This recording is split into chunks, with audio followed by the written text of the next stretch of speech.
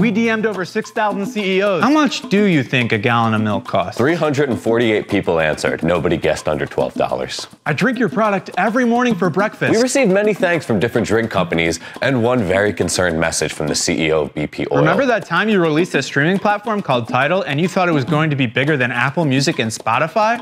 How's that going for Jay-Z you? Jay-Z called us virgins. How do you sleep at night knowing you've conned millions of ignorant Americans out of billions of 12% dollars? 12% said in an Alaskan king-size bed. When's the last time you've seen your family? 203 people told us they have a hard time remembering their kids' faces recently. Why do you think your stock prices keep going down? 484 people told us it was the consumers that are the problem. Heard you used to go to that island all the time. 38 people got really defensive without even asking us what island we were talking about. Name every single employee that works at your company or you're a bad CEO. Almost everyone ignored us, except for Trey Parker, who literally sent us a list of over 500 people, and it wasn't even in alphabetical order, so you could tell it was off memory. Smell my finger. Bill Gates responded with LMAO.